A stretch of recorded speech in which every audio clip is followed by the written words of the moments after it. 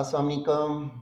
आज की short video में हम मसल की इनेटमी और फिजियोलॉजी से रिलेटेड एक एमसीक्यू करने जा रहे हैं। स्टेटमेंट आपके सामने है, वो कौन सी प्रोटीन है जो सार्कोमियर में मौजूद नहीं होती? वेरी डियर स्टूडेंट्स अगर स्केलेटल मसल की ऑर्गेनाइजेशन की बात करें तो जो होल स्केलेटल मसल है, वो मसल बंडल से मिलकर बनता है, जिन्हें मसल फेसिकल्स कहते हैं। और फैसिकल फेसिकुलस से निकला है जिसका मतलब ही बंडल होता है। तो एक फर्दर मसल बंडल के अंदर स्केलेटल मसल फाइबर्स होती हैं, जो एक्चुअली मसल सेल्स होते हैं। तो स्केलेटल मसल सेल्स को स्केलेटल मसल फाइबर्स कहती हैं।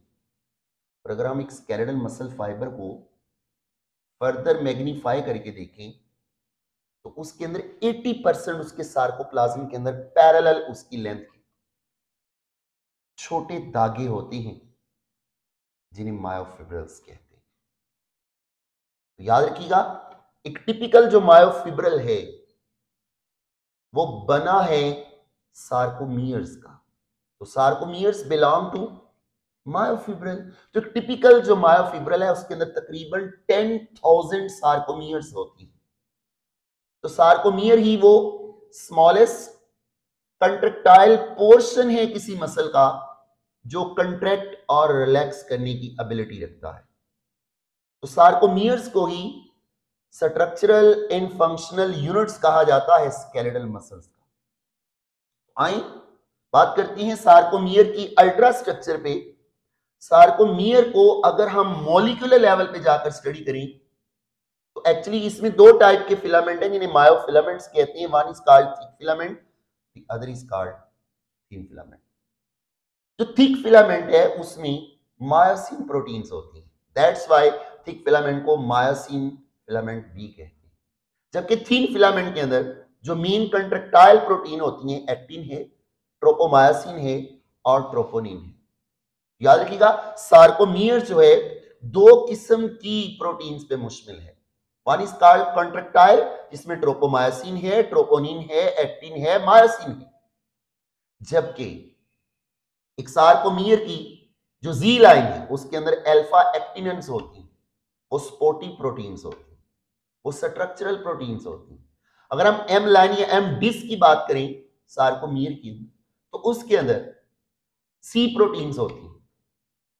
माय वेरी डियर स्टूडेंट्स और अगर हम बात करें टाइटन की, जो कि स्प्रिंग लाइक प्रोटीन होती है, जो सार्कोमियर को इलास्टिक और एक्सटेंसिबल बनाती है this is also a non contractile protein तो टाइटन हो नेबुलन हो अल्फ़ा एक्टिनेंस हो सी प्रोटीन्स हो मायोडेस्मन्स हो, या my very dear students creatine kinase वो हो। तो ये वो प्रोटीन्स हैं जो नॉन कंट्रेक्टाइल प्रोटीन्स हैं। तो मैं वेरी डियर स्टूडेंट्स ये था molecular point of view sarcomere का तो अब इसी की रोशनी में हम देखते हैं, कौन सी प्रोटीन सार्कोमियर में मौजूद नहीं है इन ऑप्शंस में? ट्रोपोनिन याद रखिएगा, स्केलेटल मसल फाइबर की जो सार्कोमियर है, उसके अंदर ट्रोपोनिन मौजूद होती है।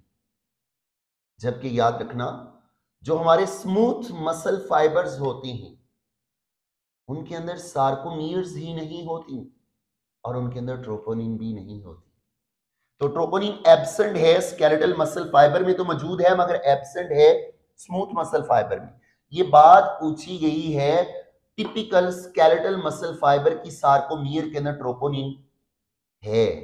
तो देखना है सार्कोमियर जो है स्केलेटल मसल फाइबर का, इसमें कौन सी प्रोटीन नहीं है? ट्रोपोनिन फर्दर जो है, ये तीन पोलीपेप्टाइड चेन्स पे मुश्मिल है।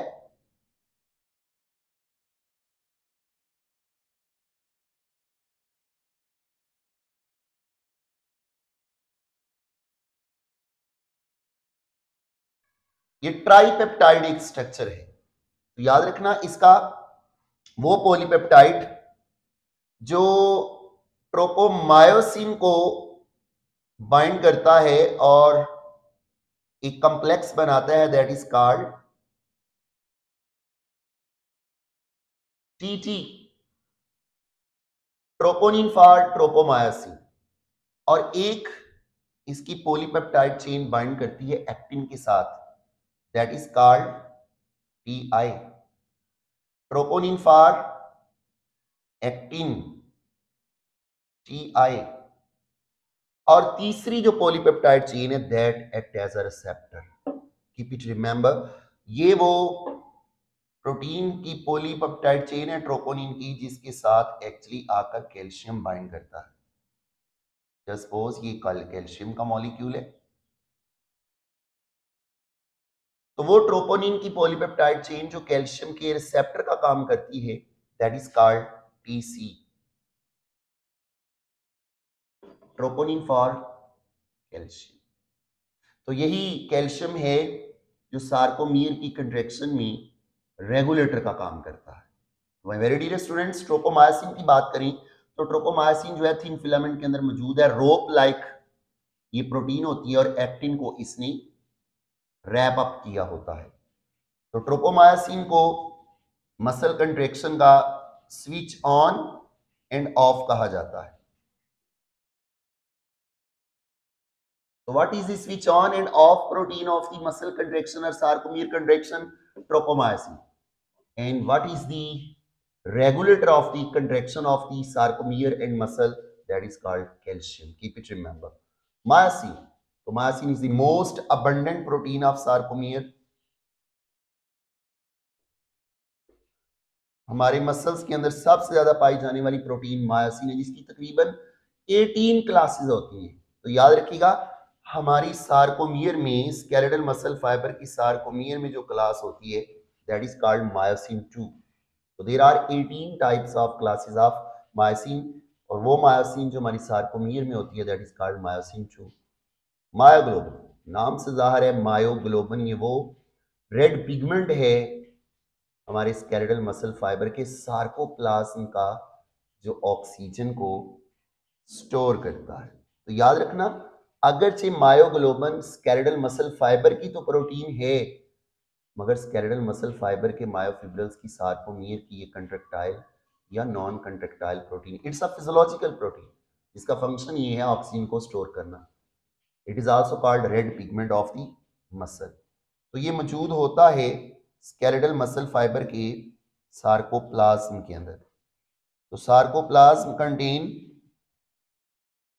मायोग्लोबन तो ऐसा मसल जिसके अंदर मायोग्लोबन ज़्यादा होती है that is called red meat और ऐसा मसल जिसके अंदर मायोग्लोबिन की अमाउंट कम होती है दैट इज़ कॉल्ड बाल तो it's all about the sarcomere and its contractile and non contractile proteins thank you